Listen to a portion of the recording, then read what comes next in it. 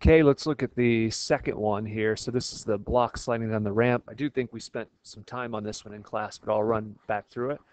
Um, so again, like I said before, um, really you've got three problems in one. You've got a conservation of mechanical energy problem, and then you have a conservation of momentum problem, and then afterwards, over here, you've got a, a work mechanical energy theorem problem. So nice, again, a nice review, kind of ties it all together. So um, part one says determine the height of the ramp. So just determine the height of the ramp. We don't really care about this other block here. We just know that there is some amount of gravitational potential energy up there, and all of that is going to be converted into kinetic energy down there. So that means we want to express that um, the MGH at the top must be equal to the 1 half mv squared at the bottom, but let's make sure we're putting in the right terms. It says that it's moving at some speed that's three and a half times whatever this variable v initial is. That could be anything. It's just putting all of the speeds in the problem in terms of one variable. Um, our mass will cancel out here, so that gives us v is the square root of 2gh. Um, hold on, back it up. Solving for the wrong thing. We're solving for h here.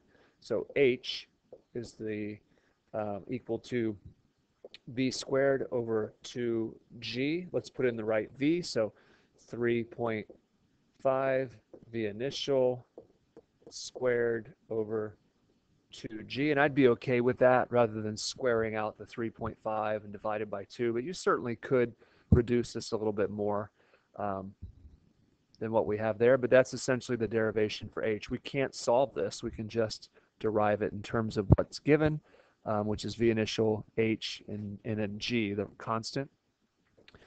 Now, part two says determine the speed of the block after the collision. So what we do know now is let's draw this out. We do know that the big block, when it gets to the bottom, um, this is block M and it's traveling at 3.5 V initial. It strikes another block M that is at rest. And then it says as a result of this, we have this block M travels off at 2 V initial, and then the first block M, we're not really sure what happens with that, so that's why we need conservation of momentum. So we do know that the momentum over here does have to equal the momentum over here. Um, so that means 3.5 mv initial and uh, again, don't forget, I mean, this 3.5 is just a coefficient, so I can bring it out to the front of this term, even though it's times the velocity. Plus 0 has to equal big M times V. I'm going to put a final in there so that we know that we're solving something different there. Plus 2 MV initial. Uh, we're dealing with the same mass all the way through and don't call them M1 and M2 if they're both the same. So in a problem where they put the masses in terms of a single variable, like M, it could be M and 2M or 3M and 4M or whatever, um, that enables us to cancel out that M. If you put M1 and M2, now you're really calling them two totally different variables. So that means 3.5 V initial minus 2 V initial has to equal the final, which comes out to be 1.5 the initial, and it also has to be positive, right? So we know that it has to be to the right. So this guy has to be moving in that direction too. Okay, so there's my conservation of momentum part. Part three says the larger block slides a distance d before coming to rest. So we know that this block m, which started out traveling at 2, the initial, is going to travel some distance d um, before it gets over here. and its velocity is zero. And then we know that there's friction there. Um, we're trying to find that coefficient of friction. So this is again is a, a classic way that we can use conservation of mechanical energy and the work energy theorem. So all of the energy is lost. So we know that the work, the negative work done by friction has to be equal to the change in K of that block. That's why it's negative because K is getting smaller.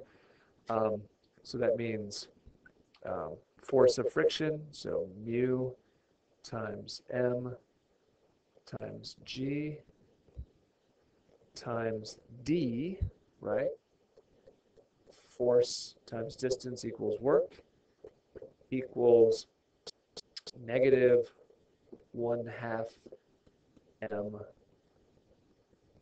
to the initial squared. Let's work all that out. So 2, 2 squared is 4. Half of that is that. So that's negative 2 mv initial squared um, over mgd equals mu. Cancel that out. So mu um, is equal to 2v initial squared over g d. Um, both sides of these equations are negative, by the way, so that negative cancels out. Mu is never going to be negative. It's a coefficient, doesn't have units or direction. Okay. Uh, and then indicate whether the collision is elastic or inelastic. Remember we talked about that? Elastic means um, kinetic energy initial equals kinetic en energy final. Inelastic means that the kinetic energy initial does not equal final. Uh, typically means the final is going to be less as well. So the only way we can figure this out is to simply solve it out. So calculate the kinetic energy before. So if we remember back, our first block had a um, speed of 3.5 squared. Second block was at rest, so that constitutes the total kinetic energy before. And the kinetic energy after, we had 1 half m um, 1.5 the initial squared plus 1 half m times 2 the initial squared. Um, probably need to work this out a little bit more.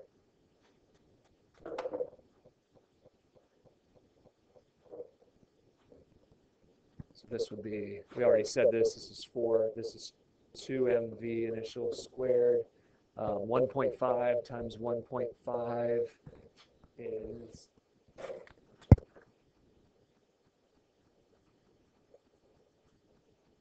2.25.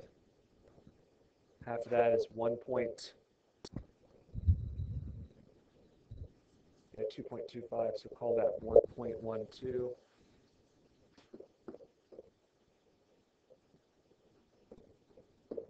So my total momentum afterward is around 3.1 mv initial squared.